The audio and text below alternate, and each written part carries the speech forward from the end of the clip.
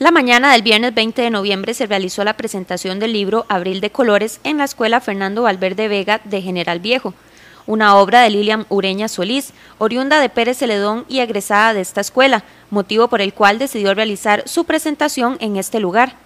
Abril de Colores es una recopilación de varios poemas escritos para niños y su nombre tiene un motivo muy especial. Se llama Abril de Colores y el primer poema se llama Abril de Colores cuando en el año 2000 nació mi primer nieto, nació en abril, entonces se me ocurrió escribir un poemita celebrando su nacimiento. Y después de ese primer libro vinieron, de ese primer poema, vinieron otros, otros poemas y comencé a escribir. Y de hecho tengo muchos en el librito este de Abril de Colores, no están todos, tengo muchos muy lindos. Y tenía ese conjunto de, poesías y siempre pensé, yo quiero que estos poemas estén en manos de los niños. Ella espera que sus poemas lleguen no solo a los estudiantes en general viejo, sino que cada niño pueda disfrutar de sus textos y sus ilustraciones de abril de colores. Y ese era mi objetivo, que los niños lo tuvieran, porque fíjate que yo tengo 75 años y todavía recuerdo los poemas que venían en los libros que yo tenía en primero y en segundo grado.